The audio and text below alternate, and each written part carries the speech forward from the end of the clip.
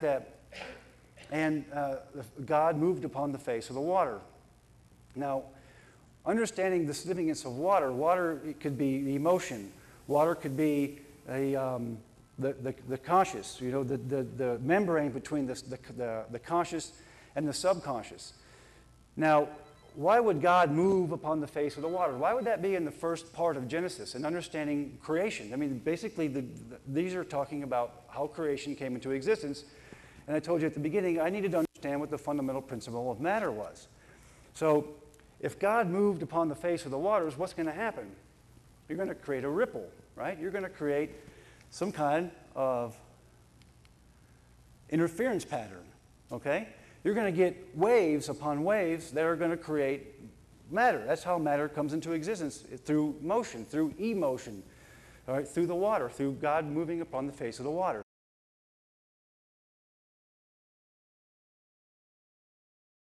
For those of you who don't know, we're getting a little esoteric.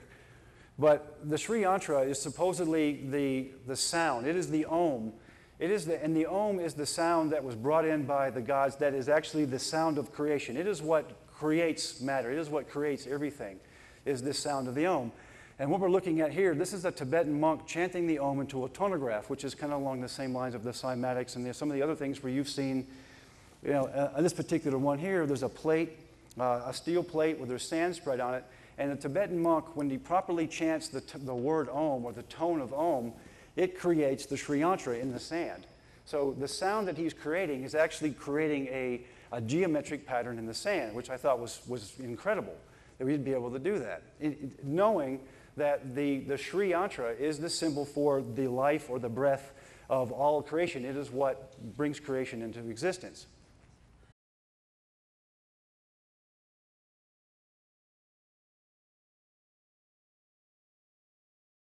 Um, some of the interesting things that I've discovered uh, based on the 432. the diameter of the moon is 2,160 miles. That's 432, you know, half of 432. The diameter of the sun is 864,000 miles, which is 432, or 432,000 times 2. The precession of the equinoxes, which is 25,920 years, or 432 times 60. 12 hours equals 720 minutes, or 60 times 12, or 43,200 seconds. A healthy athletic adult at rest has an average heartbeat of 60 beats per minute, which gives us 60 times 60 minutes in an hour times 24 hours a day, which is 86,400 beats per day, which is 43,200 times 2. The height and perimeter of the Great Pyramid has a ratio of 43,200 to the radius and circumference of the Earth. The original height of the Great Pyramid, if the capstone were replaced, was uh, 481,000.4 feet. Now, uh, before I go further, I wanted to uh, clarify what the Egyptian inch and the English inch was, which are 0.0001 from being different from one another. And they, they changed it. There's some um, confusing about when, when all that had taken place. So when I talk about the, the speed of light, miles per second, and so forth, the Egyptian inch and the mile, they were, they were very closely related, but they were just off just a little bit. So now, if we take the 481.4 times 43,200, you get 3938.685 miles, which is close to the actual polar, polar radius of the Earth, uh, which is measured to be 3949 miles. Whoops. That must have been my shopping list. I don't know how that got in there. If you multiply the perimeter of the Great Pyramid all the way around its base, which is 3,223 uh, feet, by 43,200, you end up with 24,734.94 feet, which is less than 1% margin of error of the measured circumference of the Earth. Okay? Stonehenge. Now, when they built Stonehenge, we didn't have Latin long. They didn't come along until later. But now that we know the grid system, we take 51 degrees times 10 minutes times 42, you know, all these things here, seconds north latitude, and you multiply them together, you get 21,600 which is a multiple of the 432. The speed of sound in granite is 12,960 feet per second, or 4320 times 3. The harmonic sixth of the 432 is also 720 hertz, which we got the, the 72 stupas. The Stradivarius violin was built to resonate at 432 hertz, which is, uh, some say, is one of the most precise musical instruments man has ever built. Now, this is something that I wanted to talk to you guys about because it was a, it's an offshoot of the healing. But let's say, for example, that I'm right, or this theory is right, that, that all matter comes into creation through harmonics. And how that works is, in a nutshell, you have the fabric of space time. You have an interference, you have a, um, a harmonic interference that takes place that causes the vortex to spin, okay? Causes the torsion field to, to start to move. And it's all based on, on music, it's all based on musical ratios. Now, if all matter is, is based on that, then you could take sound, you could take the proper harmonic ratios and dampen or amplify the effect of matter. Now, this is a, um, a stone wall that was built by our ancients thousands of years ago at Pumapunku. And as you can see, they almost look like they were molded out of clay and, and built in there, right? But this is solid stone, and supposedly it was cut with copper instruments. Now, I don't believe that. There's no way. This is, this is hard stuff. I forget if it's granite or not, but there's no way these guys could have built that. But what if they knew the proper harmonic codes? What if they knew the proper frequency? What if they knew the musical harmony that it would take to make matter more etheric, to make it lighter, to undo the, the vortex just enough that it becomes lighter, it becomes easier to move, it becomes easier to, to cut, it becomes easier to form? Then this makes sense using just music. Because what did they have back then? They had musical instruments. That was basically it. You could use anything for a musical instrument, but they had flutes, they had string instruments, they had all kinds of things. And what if they knew the proper harmonic frequencies to build structures like this? Because um, some of the stuff I've seen, some of the research I've done, is nobody, stonemasons for 30, 50 years, they couldn't build that. It would be a hard time even moving some of these things. I think that stone on the right, that big one, there was like over 20 or 30 tons.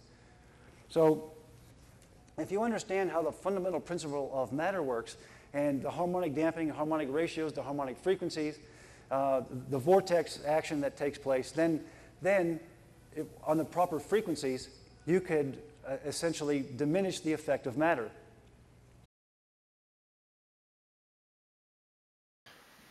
So my name is David Sereda, and uh, firstly, I'm just amazed at Jamie's, you know, level of genius and you know what he's doing with the toroid and the over unity effect that's happening with these things and the math. It's, it's incredible. And you know, I'm, I'm a person who believes in the field affecting matter, the body, you know, or you know, the field, the energy field, or, or invisible magnetic fields, or plasma fields, or even um, etheric fields interfacing with matter to produce over unity in electrical devices, but also in the body because we have an aura. I mean, Fritz Albert Popp, you know, the German scientist, proved that all living things are emitting biophotons in invisible and visible spectra of light. So we are emitting light. And if you if you have an injury in the body and you use uh, an etheric device or, or a vibrational device that can actually affect your field, the body should follow. Einstein said the field is the sole governing agency of the particle matter. So the field tells matter what to do. Matter doesn't tell the field what to do. So Jamie's device, you know, when we we first we put it on my foot, and my foot I had a you know two inch splinter, very thick, went through my foot, and I had a lot of swelling for about three years, and I thought I was going to need foot surgery, and um, it you know the, for the first time in about a year it swelled up again really bad, and so we put the device, and you could feel the kind of humming and the vibration. We put it on my foot. And the next day, the swelling went way, way down. And, and I thought that was pretty amazing because normally when I get these swelling attacks in my foot and they're really bad, it's red and purple, it can take over a week for the swelling to go down. So I thought that was pretty interesting. And then we tried putting it on my heart and I actually have a lot of emotional pain about how many injuries I've had. I mean, I'm an extreme skier, a skydiver, I was a tree planter for 22 years, and I never hurt myself badly. But, you know, the drivers in Los Angeles, uh, forget about it. I, I got hit a number of times by you know usually women with no insurance and and got really messed up. I was on crutches for six months from a slip disc. Um, so you know when you and then when I was just healing over one of these car accidents, I was just getting ready to start exercising again, and I was skiing in my socks across the hardwood floors on New Year's Day with my New Year's resolution, and this two-inch splinter went through my foot. So there's a lot of emotional pain around the fact that I was getting hurt so much um, in the house. So stay out of the house. The worst injuries I've ever had in my life are at home. So the key is to get out of the house. Um, but anyway, I felt that pain. The emotional part of the injury came up for me when I put this device on. And, you know, I'm a very sensitive person. I meditate a lot, but I'm not one of those wounded sensitive types that that always, you know, uh, kind of wicks my wounds over and over and over again. I'm the kind of guy who, because I'm a mountain person and I just get up and go again. So for me to have an emotional feeling in relationship to a device is, is pretty profound.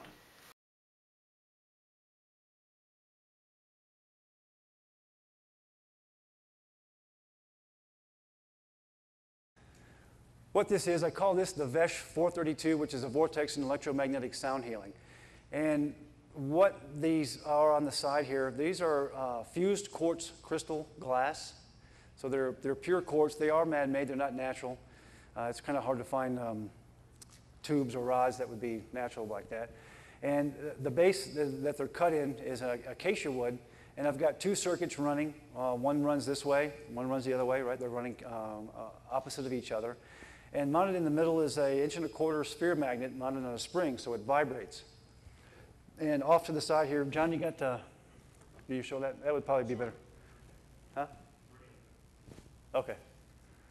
So you can see the, the angle of these here are actually at 19.5 degrees, so they go out a little bit. And here's my hookup for my, my stereo system where I, where I pump in the sounds, the frequencies.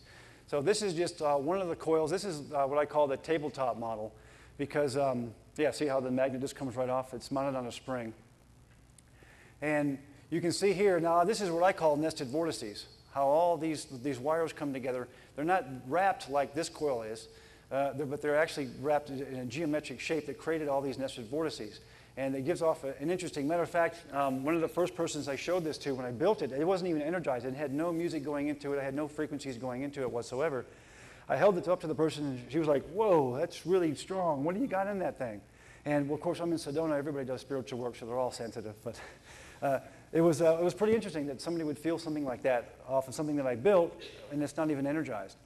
Um, my most popular thing here, this is what I use mostly on people, is the black coil, which is essentially this coil here, which I, I, overlap. Instead of everybody's going in the same direction, I actually do one circuit going one way, and then I overlap them uh, coming back. So I get the two circuits overlap each other and kind of uh, play on each other. So this black coil here, that's, that's just a uh, quick connect. Uh, so I have everything hooked up. I just connect it real quick. Um, mounted in the middle here is another sphere magnet, but it's, it's one inch instead of inch and a quarter like this one. But it's in a, a plastic uh, ball.